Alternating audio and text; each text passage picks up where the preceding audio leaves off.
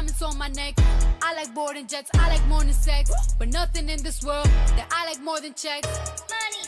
Cardi B is making all that flexing and money sound like child's play. No doubt the rapper and her rapping hubby Offset love to spoil their daughter Kulture, but their plans for the Tot's first birthday on July 10th just might take the cake. They commissioned a custom chain and pendant from a celebrity jeweler crafted from white gold, diamonds, and colored enamel.